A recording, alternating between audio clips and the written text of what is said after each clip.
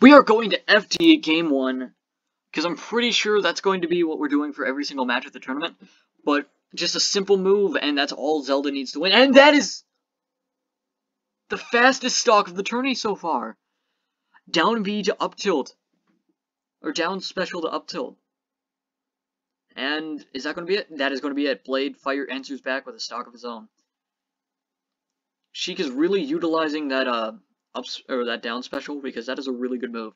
That is also a move that I'm pretty sure you have to be frame perfect on to use properly. And that is it's also a kill move.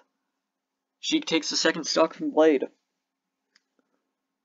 And probably going to do it again.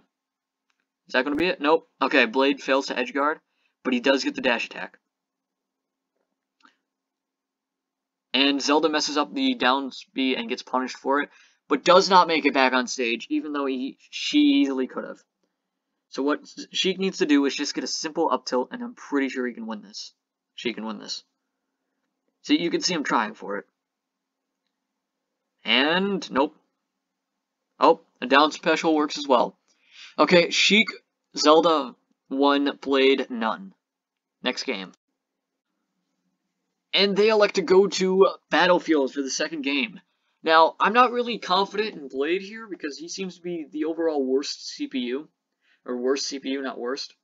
And that's another reason why I'm not confident. Confident because Zelda can just hit him once and then he's dead. Really just depends on the game's mood at the time. That was one attack and she's at, and he's at 100. I'm pretty sure Blade's losing this. But what Blade needs to do is just spam jump because I don't think Zelda. Oh, okay, second stock gone. Uh, Blade finally answers back, but I don't think he's going to win this game. I think this game is unwinnable for him. But who knows? Never mind. He can do it. A mistake from Sheik might cost Sheik the game. And might give it to Blade. Might give a more... Less of a 3-0 and a more of a 3-1 to Blade. And... Oh! Sheik is already at 200. Blade can do this. Never mind, Blade cannot do this. A simple down B takes the game yet again. Okay, on to the next game. It is 2-0.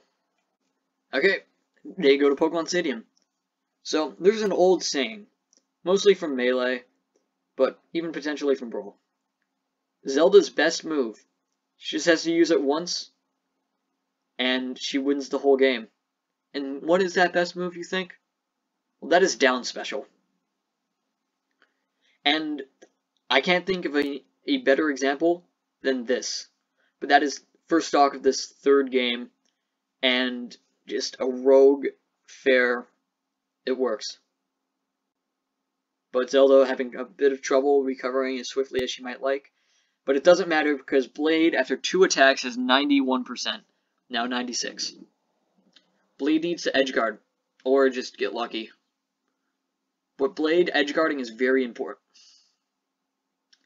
Blade edge guarding is very important, and him not getting hit by that kind of BS move.